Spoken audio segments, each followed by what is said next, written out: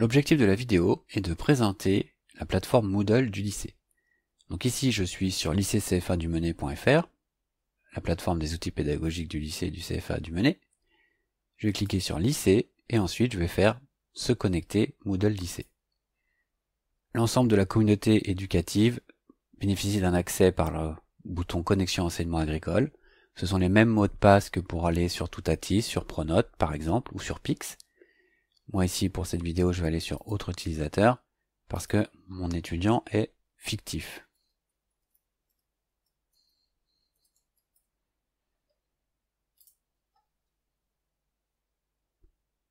Ici, je me retrouve devant ma page Mes cours. Donc l'étudiant a trois cours. Conception web, Cordo, Design web. Si je clique sur Conception web, ici j'ai une navigation. Donc je peux aller assez facilement sur un des éléments ici, par exemple la leçon numéro 1, pourquoi pas. Et je peux voir aussi ce que j'ai déjà fait. Vous voyez ça, animation site e-commerce, a déjà été terminé par l'étudiant tutoriel. Alors souvent, moi je ferme ici pour gagner un petit peu de place. Et de l'autre côté, ici, vous avez les blocs du cours. Donc là, comme c'est une leçon, vous avez la petite navigation interne à la leçon. Pareil, j'aime bien fermer ça pour avoir toute la place à l'écran pour travailler. Ensuite, ici, vous avez le fil d'Ariane. Donc, euh, en cliquant sur TS1 Conception Web, je retourne dans le cours.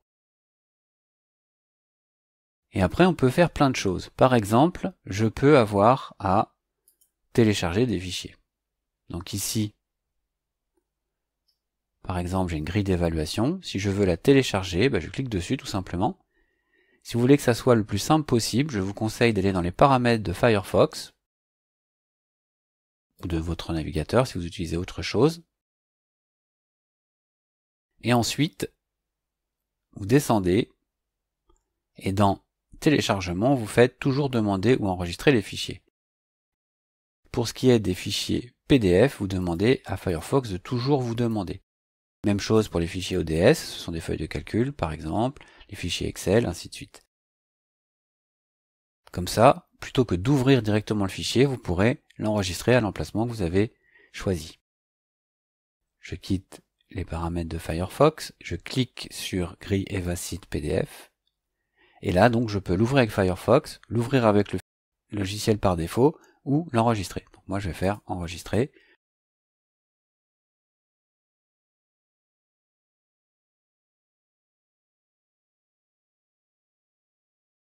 Et ici, je peux ouvrir le dossier pour voir le fichier que j'ai enregistré dedans. Donc ça, c'est une première chose. On peut à l'inverse déposer des choses. Donc là, je vais retourner dans ma leçon numéro 1. Grâce aux onglets ici, je peux naviguer. Et je vais déposer mon travail. Donc là, l'enseignant m'a demandé de déposer deux fichiers. Il a mis ici une grille d'évaluation qui vont me permettre de savoir ce qui va être évalué et plus tard, quand j'aurai remis mes travaux et qu'il sera venu évaluer, voir quel point il m'a accordé. Je fais ajouter un travail. Là, j'ai une zone où je peux déposer les fichiers. Donc le plus simple, c'est tout simplement d'aller ouvrir l'endroit où j'ai enregistré les fichiers, de les sélectionner et de les déposer. Alors on peut les faire un par un, bien sûr. Hein. Ensuite, j'enregistre. J'ai bien remis deux fichiers pour évaluation. Ça indique à quelle heure ça a été fait.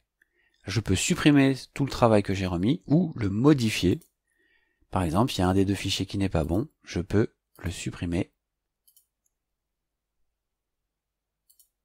Je pourrais supprimer le deuxième aussi, hein. et j'enregistre. Par contre, il ne faudra pas que j'oublie de revenir déposer le bon fichier après. Ensuite, autre possibilité, vous pouvez faire des quiz. Alors ça dépend du paramétrage qu'a fait l'enseignant, mais il y a plein de possibilités.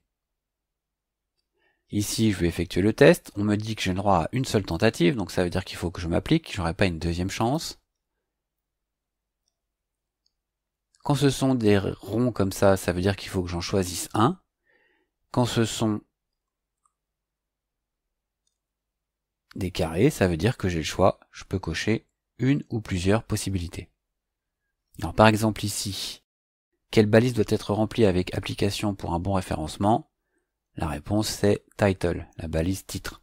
Je vérifie et là il me dit vous avez eu 1 sur 1, correct. Ici, quels sont les moyens pour obtenir un meilleur référencement? Veuillez choisir au moins une réponse. Donc là, on va dire que je vais mettre faire des milliers d'échanges de, de, liens, et puis je vais en cocher une qui soit pas bonne, je vais mettre envoyer des milliers de mails. Je vais vérifier. Et donc là, j'ai eu 0 parce que j'avais 0,25 pour cette bonne réponse et moins 0,25 pour cette mauvaise réponse. Ensuite, il y a une pénalité de 1 sur les 1 point que ça pouvait rapporter. Ça veut dire que je peux retenter ma chance, mais je gagnerai pas de points supplémentaires.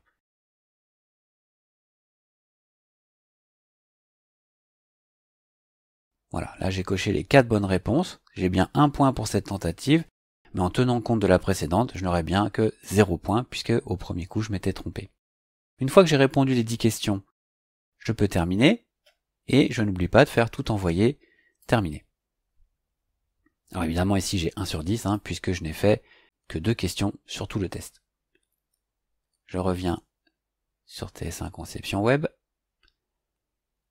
Alors évidemment, on peut faire plein d'autres choses, hein. on peut suivre des leçons. Donc là, c'est assez simple, hein. on peut naviguer comme ça au fur et à mesure dans la leçon.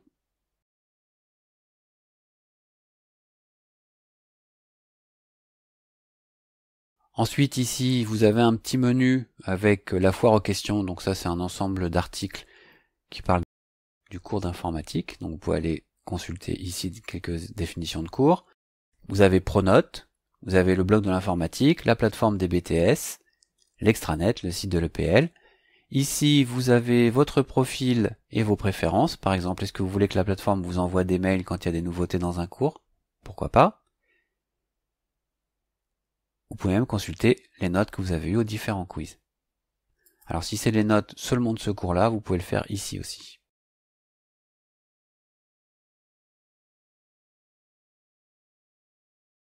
Et voilà,